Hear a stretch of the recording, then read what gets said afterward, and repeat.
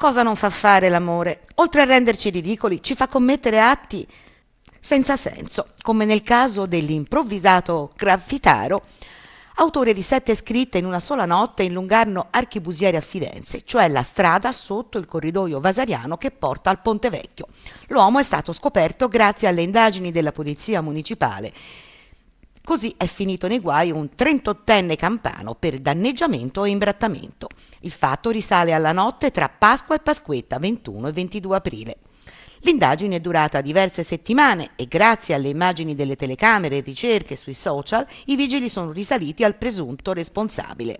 Le scritte già rimosse erano tutte dichiarazioni d'amore. Qui si trattava di un uomo sposato che faceva lo scemo eh, per un'altra donna e quindi ehm, anche qui è assolutamente non accettabile e eh, noi eh, intendiamo anche di chiedere i danni perché di eh, pulire eh, queste superfici eh, costa infatti e quindi non è uno scherzo.